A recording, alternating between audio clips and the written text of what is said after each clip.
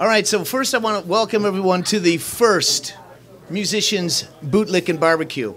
Uh, yeah, well, thank you. Hooray! Thank you. This is a show by musicians for musicians. We're all about Cleveland musicians. So um, we are also shooting for our YouTube channel called the Musicians Bootlick. So you can catch all the shows uh, on the Musicians Bootlick. We are also live on Periscope. Are you guys familiar with Periscope? I have no idea what that is. No, you don't know. You don't know what Is Periscope it is, a yet. porn site? Because I would know what that is. Uh, was, yes, I would have known sooner too. But uh, no, Periscope is broadcast live around the world. People can check in anytime. They can ask us questions. They can send us messages. Um, so we are live on Periscope. It's an app through Twitter. And um, I want to send out a sincere thanks to you guys because, you know, you guys jumped into this thing blind. This is our first show.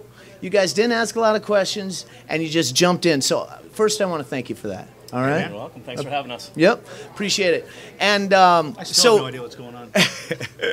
so here we have the guys from Big in Japan. Uh, we have R. Scott Vaughn and Matt Contorno from Big in Japan. How about that, huh? hey, that guy likes me. Yeah. Yeah, how about him? Got off fan. There's our fan. Oh, thank you for that, by the way. Thank you. Uh, if you're joining us on Periscope, you can hang out. This is a people are joining. Very cool. They are. Um, Hi, yep. Mom. This is a this is a Cleveland rock and roll show uh, by musicians for musicians on a YouTube channel called Musicians Bootlick, and we're live around the world on Periscope. Hooray! First thing I want to know is I think it's unusual how long you guys have been together. Tell us about the band, when it started, how long you've been together, those kind of things. Want me to talk or I'll talk? We've been together since November of 2008. Okay. Same three guys. Um, coming up on six years? Seven Six years. Six years? Six years. Seven years? think so. And, uh, whatever. It doesn't matter. Seven Uh, years. But it's been a long time. We're probably the longest tenured same member in this band around Cleveland, I would imagine. I think so too, actually. No, there's. Well, there's some more, but now With I the thought, original members? Sure. Matt, I thought you and I were talking at one point, and you said that uh, uh, there, there was some real history. Who have you been playing with your guitar player for a long time? Yeah, actually, uh, the guitar player that's in Big in Japan, we actually started our first band when well, he was 13, I was 12. Wow. Yeah. So you guys, uh, how many gigs you got under your belt? You think? As big in Japan? At least three or four. Now, now let me ask you: When you guys first started playing, what was it like? I mean, how old were you? How old were you when you first started the band? Gentlemen never ask lady her age. sir. I don't No, know. not not you. How old were you guys when you when you you and your guitar player You got know, together? it was probably maybe eight months after that. We did uh, we did a talent show, and believe it or not, after that we got picked up by a manager, and then we started opening up for Cleveland bands. how old were you at this point? 13. Thirteen. So our parents would have to shuffle us off to to the gigs, and you know, In, in like a horse and carriage. I mean, that was a long time ago. it was a long time ago. and I'm going to get to that too about how long we've been doing this. Um, so, so six years now. In, in I'm going to ask you this question next, but first, in six years, have you seen a big change in what we do in the cover bands in the music scene in Cleveland in the past six years? Yeah, to an extent. It, it seems to be, within the last couple of years, everybody's trending towards the tributes. Tribute to this, tribute to that, experience of this, experience of that. Where it's not just bands anymore. They always got to have a, a niche or a, Yeah. a certain artist they've got to copy or a certain genre. But it seems to be what fills the rooms a lot of times. So I don't blame them, you know? You know, and, and, and the young kids, where are the young kids that do what we do? I don't see any these days. There's some out there. Uh, actually, my daughter's in an original band out of Cleveland. They're doing really well. Thanks, Milk. And uh, there's some other. There's a couple young bands playing rock and roll. I play Musicians Night in Willoughby every other week. There's a couple of young bands that are coming up and they're busting out Ozzy. They're busting out Van Halen. That's just And you can bizarre. yeah, but it's so cool because whether it's uh, Guitar Hero or whatever, it's bringing them in yeah. somebody they're finding it somehow and they're wanting to play it. So that's I've me, that's definitely cool. seen that too. I mean, I, I, I played with a uh, with a bass player in Las Vegas, and he's ooh probably close to fifty. He's got a daughter who's a late teenager, and like the first song she learned was like Ozzy and this kind of stuff. Absolutely. Which is a whole nother animal from what what I've been seeing too. Is I, you know I don't see a lot of the young kids out coming to see what we do. You know, and and I and I feel like as we get older, our crowds are dwindling, and I'm wondering what the fuck are we gonna do in a couple years? Oh, we could swear. I didn't even know. I swear. I guess I swore. All right. I mean, seriously, uh, our our you know, Yeah. if you look, where are the where are the other cover bands or, or the bands that you know? There's a there's a thing to be said for cover bands. It gets you gets your chops tight, gets you out there, gets you learning some, you know, making some money. Um, there's just not a lot of guys doing it. It scares the shit out of me. Yeah. I mean, do, have you thought about it that in that in those terms? Matt, have you really thought about it in that way? You know, I, I guess it depends on where you're playing too. You know, 'cause Yeah. We, we get a lot of, you know, we get younger crowds. You know, it all depends on the bar. Yeah. the bar. Where's your youngest crowd these days? Around the corner, probably. Yeah, Lakewood. you know, college kids and yeah, a lot of college Kent. kids. Yeah. Kent. Yeah. You know, and they're a later crowd too. Yeah. They don't get out until 11, 12 o'clock. I've seen that. I've been I've noticed that before. Um, the music scene in Cleveland, I, you know, is is changing. Let's see, the industry itself. Think about that. Think about since you were 13, how the music industry is. When your first band started, you know, all the electronic and all that kind of stuff. You know, you're almost. It, it used to be kind of taboo, but now you're now you're kind of screwed if you don't do it. You guys tracked?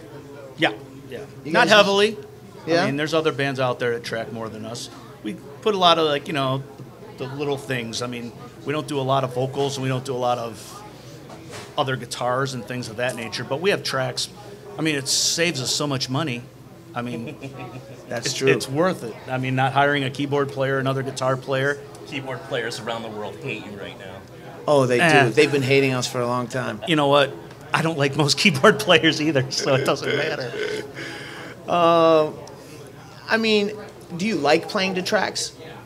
It's restrictive to a point. I mean, there's many songs we don't have with tracks that we can do our own thing, but the ones we do have tracks, there's no change in it. I mean, Yeah. you got to play that song the way it's supposed to be, or Yeah. That's usually with most cover music, anyways. You know, you, you're there to play the song. Yeah. You know. It's a good point. Uh, yeah. I do know a couple bands that you know, you know, rock it up. We rock some songs up too. Well, that's what we Um, kind of really do. That's we'd like to change like the dance type music and put a gu- heavy guitar over it, or s- up the tempo, or change it a little bit where it's more of a rock feel.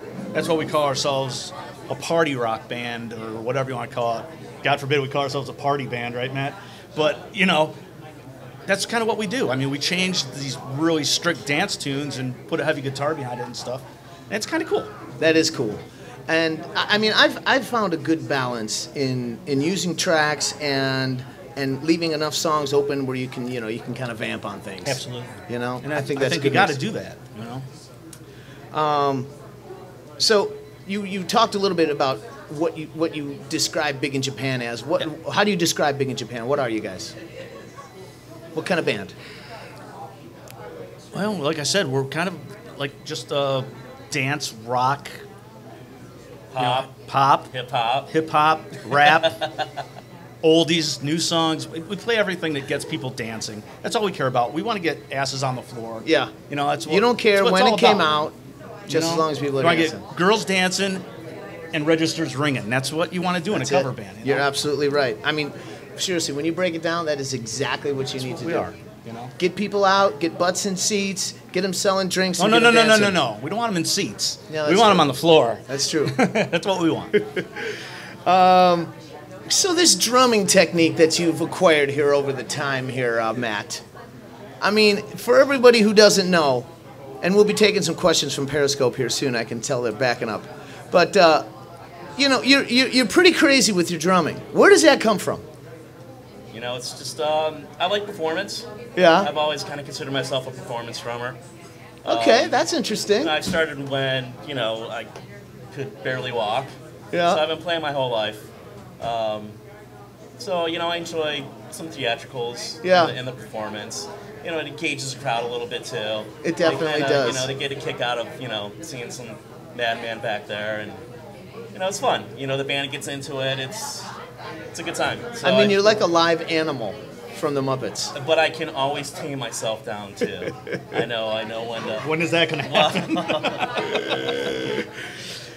And you're very tame today. I've I seen am. you with, with your with your crazy outfits. You know, I think it's a real good mix. I think what you guys do is a real good mix. Thanks, man. You know, We have Um, fun. That's what it's all about. Is just having fun, man.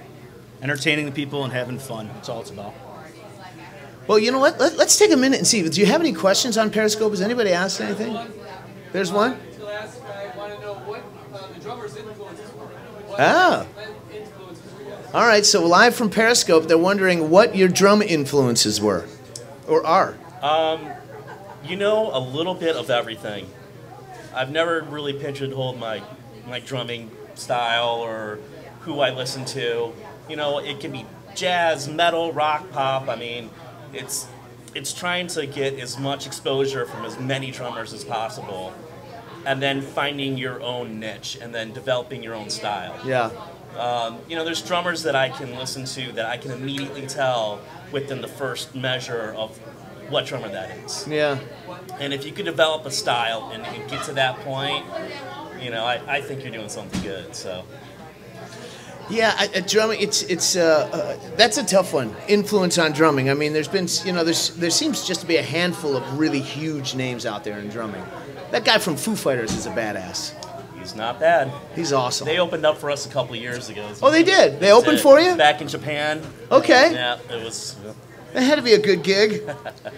Um, okay, any other questions? Anything else? Okay, we'll, we'll come back to that. Um, uh, so let's see. The, uh, the, the Republican National Convention is coming to Cleveland. Do you think it's going to get us any more any more gigs? No. You know? No. Not even if Trump makes it here? Is he going to come to a gig?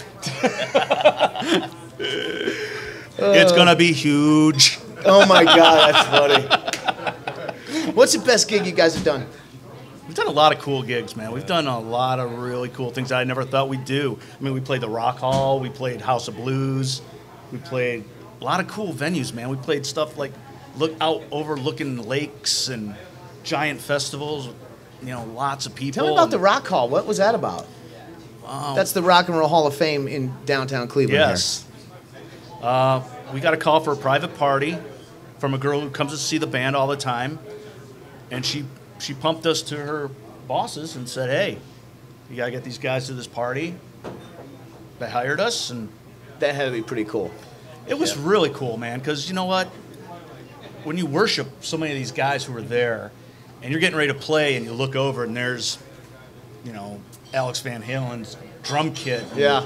The CBGB thing hanging up. I mean, it's like, man. Yeah, that we're, is We're getting cool. paid to play here, Yeah. underneath, you know, the car from U2 and big Gwen Stefani sign and stuff. I mean, it's pretty badass. Yeah, man. that's It's pretty awesome. badass. Uh, what, what what's what's where do you want to play? If you could make a short little list of places you want to play. You got any, you got anything on your targets? Locally, uh, we pretty much played everywhere we want to play. I mean, That's we'd love to play everywhere, man. You know, as long as they pay us, I don't care. Give them a we call. play. They'll play anywhere. We're whores, man. We'll play wherever you want us to play. Just pay us. But no, man, we, we like playing, you know, all the cool clubs. We play a lot of great clubs right now. We got a lot of great bar owners that like us, and they treat us really good, man. So we're going to continue those relationships, hopefully build some more, and, Yeah. you know, keep it going, man, because think we're some having of fun. the really good ones too. So we do a lot of benefits throughout the year. Um, you know, we'll where there's several bands, and for me, I think that's definitely a fulfilling part of the gig that we do. Yeah. because we do. I mean, we, we definitely give back throughout the year.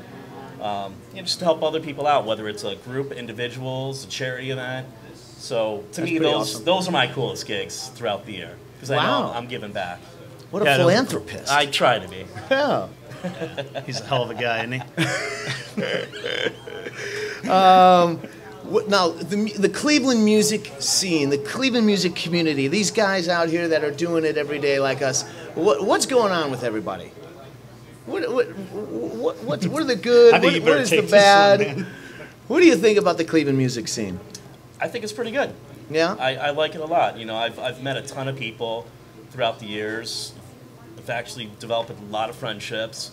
Um, you know, we're we're a group. We're It a is. small but powerful group. You and know- there's a lot of us, though. Believe it or not. There I mean, is, there is, and it really is a thriving community. I mean, I've traveled around, you know, quite a bit, and you know, I never get the sense that uh, um, that there's as much going on in, in music as there is here. I mean, I've been to places that, that that claim to be these great, you know, blues, you know, cities and all that kind of stuff, and uh, you walk up and down the streets, and man, there was not enough going on. Really? There was not enough going on. So, kudos to Cleveland, but Absolutely. um, and uh, and best of luck to you guys. Thanks, you man. know, I really appreciate you guys taking the time on our initial show here at the Absolutely. Bootlick. Sir. Do we have some shots somewhere we, we could we could do? Shots. Um, hey, I want to thank everybody for uh, checking in on the Musicians Bootlick.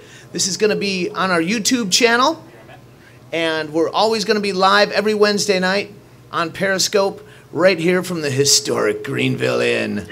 Cheer for the Greenville, yo. Cheers, everybody. Thank you. Good night.